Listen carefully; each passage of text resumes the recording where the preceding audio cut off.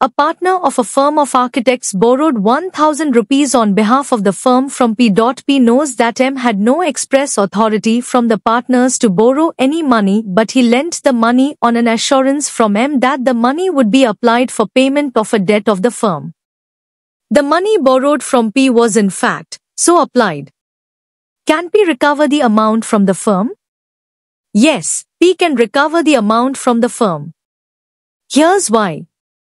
In partnership law, each partner in a firm acts as an agent for the firm and has the authority to bind the firm by acts done in the ordinary course of the partnership's business. Borrowing money for the purpose of paying a firm's debt would typically be considered an act done in the ordinary course of the firm's business.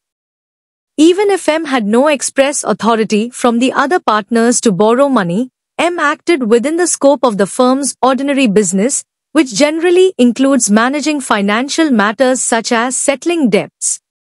Since P lent the money with the understanding that it would be used to pay the firm's debt, and it was indeed used for that purpose, the firm would be bound by MS actions. PS knowledge of MS lack of express authority does not prevent the firm from being liable because the transaction was within the apparent authority of M as a partner. Thus, P can recover the amount from the firm as the loan was applied to discharge the firm's debt.